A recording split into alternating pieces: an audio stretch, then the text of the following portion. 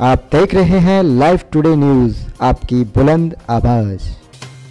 कचहरी परिसर स्थित जिलाधिकारी कार्यालय पर भारतीय किसान यूनियन भानु के कार्यकर्ताओं ने जिलाधिकारी महोदय के माध्यम से एक ज्ञापन सौंपते हुए बताया कि चरथावल क्षेत्र में आवारा पशुओं का आतंक बना हुआ है। आवारा पशु किसानों की खड़ी फ़सल को बर्बाद कर रहे हैं। इन पशुओं के द्वारा किसान की तैयार फ़सल को नुकसान किया जा चुका है। हम लोगों ने प्रार्थना पत्र दिया था, लेकिन आवारा पशुओं के बारे में अभी तक कोई भी समाधान नहीं हो पाया है। हम चाहते हैं की आवारा पशुओं को तुरंत पकड़ा जाए और किसी अन्य स्थान पर रखा जाए, जिससे हम किसानों की फ़सलें बर्बाद न हो। मुजफ्फरनगर ऐसी रोहित त्यागी की रिपोर्ट।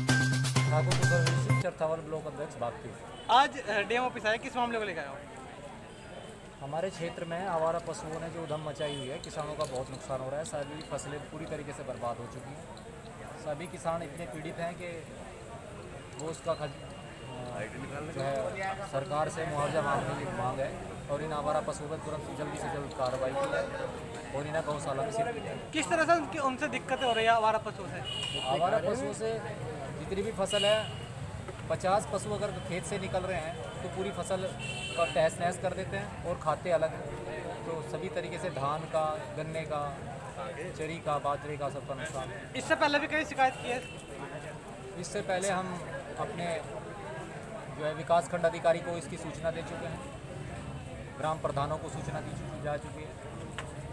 कोई कार्यवाही नहीं हुई। उसके बाद हम अब डीएम कार्यालय पाए। अगर यहाँ पे भी सुनवाई नहीं होती तो हम बड़ा आंदोलन करेंगे।